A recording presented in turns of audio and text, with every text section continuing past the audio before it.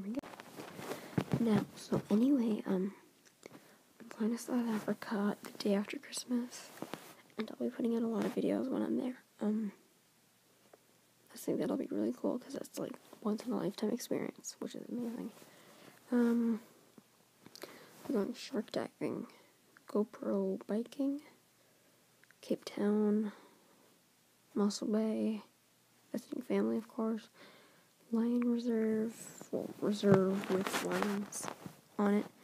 Um, I'll be driving a Jeep by myself in like this big, awesome place.